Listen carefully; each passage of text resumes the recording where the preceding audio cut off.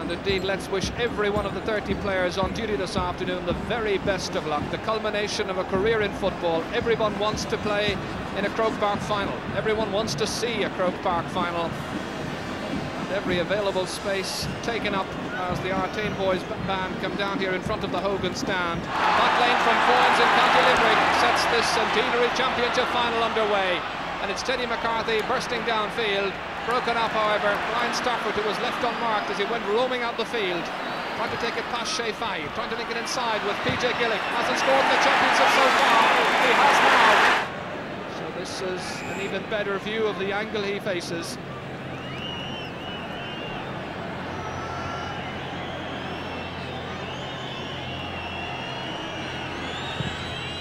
Really belted it. It curls delightfully. And another adept finish by Larry Tompkins. Gerry McEntee with that long ball. This time to Brian Stafford. Back to Colm O'Rourke, steadying himself. Good shot. Nice point. That's a bit more like it, and it's exactly what the game is required. Nice ball to the man who's his clubmate down Castlehaven, Niall Cahalane. Meath slow to get back. Cahalane a bit ambitious, but the ambition pays off. Breaks down to Conor Counihan, the Cork captain. Pushed. No free, says the referee.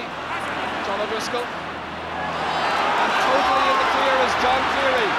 Nobody marking him, there is now. But he still is there and the momentum carries him forward. And he's got his shooting boots as well. And that's an unerring finish. A pass intended for Tony Nation, cut out by David Beggy.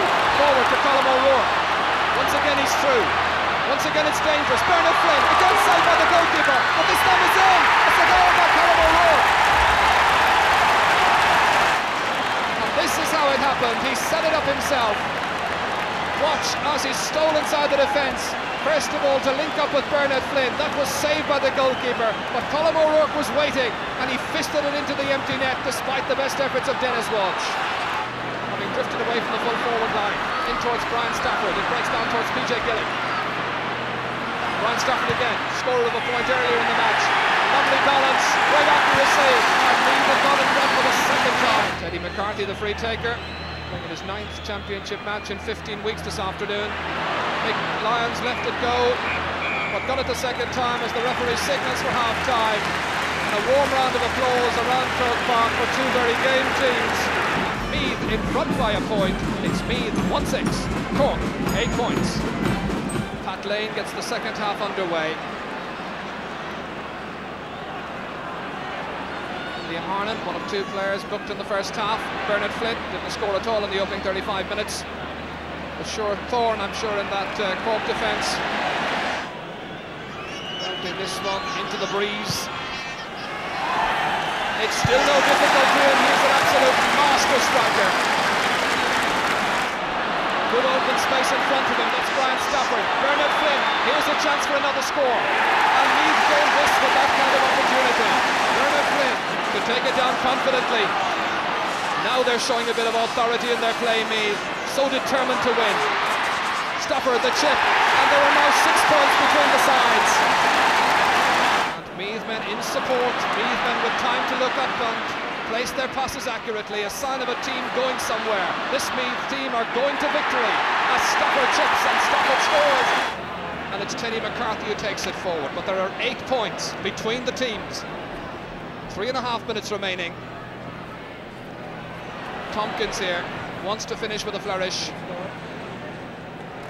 And that's just Cork's second point of this second half. Half a minute of injury time played, but it's really only a matter of time. There it is!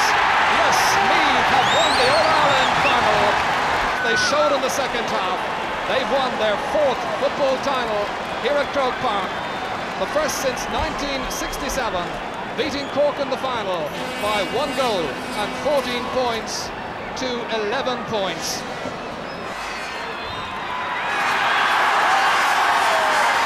Moment triumph for Mick Lyons and for Meath. The culmination of a great year in football for them. So the team's parade behind their captains, Graham Geraghty of Meath and Philip Clifford from Bantry Blues. The canal end still taking shape.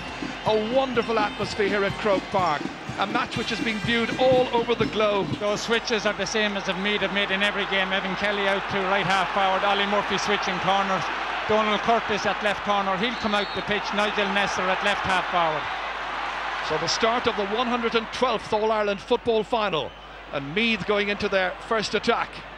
Scored a total of 210, or 110 rather, in the two All-Ireland finals back in 1996, looking for the first of the day, and that's a beautifully struck kick, and that's over the bar.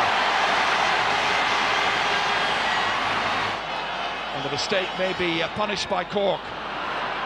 John McDermott was sliding in. Podsy O'Mahony is there as well. Comes back out once again. Joe Kavanagh down towards Mark O'Sullivan. O'Sullivan getting away this time from Mark O'Reilly. And this time his kick is a good one. And Mark O'Sullivan has put the ball over the bar. Very clever player.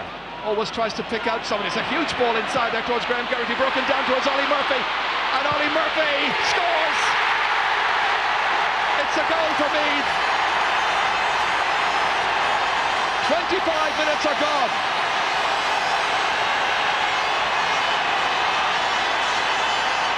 Brilliant opportunism by Meath. It's 1-3 to two points to John McDermott once again.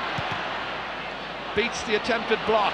Pressure on the Cork backs once more. Evan Kelly takes it delightfully, and that's kicked over the bar. That's a great point. Evan Kelly with his second point of this final trying to open up the Meath defence. Philip Clifford trying to get a touch on it. Micheál Cronin, UCC man, Naval Vaughan as well. Nicely in for look for a response here, and O'Mahony has put it over the bar. To Paddy, Paddy Reynolds once again. Nicely forward for Donald Curtis. Ronan McCarthy trying to dispossess it. Beautiful ball to Evan Kelly. What a match he's playing. What a kick. Three kicks at the target. Three points by Evan Kelly. And at half-time, here at Croke Park in the 1999 All-Ireland football final, it's Meath 1-5, Cork 5 points. Back to Giles once more. This time a good run by Donald Curtis. Hoping to pop it over the bar, but it's Graham Geraghty who takes it instead, and he goes down, and it's a penalty. A penalty for Meath in the very first minute of the second half. It's Trevor Giles to kick it. Kevin O'Dwyer in goal. He saved it. A save by Kevin O'Dwyer. Two points between the teams. Lots of dummies being sold. It's still Kavanagh. Having assistance and support there. O'Mahony back to Joe Kavanagh once again. Joe Kavanagh with a goal chance. It's a goal. Four minutes into the second half. Cork lead for the very first time in the All-Ireland final. Out to Ronan McCarthy. Fionn Murray not in the match just yet. He's on the sideline waiting. Waiting for possession is Graham Geraghty. Looking for the score here. Graham hits it, but he's hit it uh, over the bar. Yes! He got it right. The umpires had a look at one another. McManus in over the head of Kieran O'Sullivan. Missed by Ollie Murphy, but not so by Graham Geraghty. They almost get him on another's way. Graham Geraghty scored an almost impossible point a little earlier in the game and this time he hits it again and this time he replicates the action. Same result and a second for Graham Geraghty that's once again won by Trevor Giles. A clever ball into Graham Geraghty takes up a good position gets out ahead of his man and then he kicks it and he kicks it over the bar. Graham Geraghty's third. Three shots on target three points by the Meath captain and I think they've got the scent of victory in their nostrils. O'Donovan kicking past Joe Kavanagh.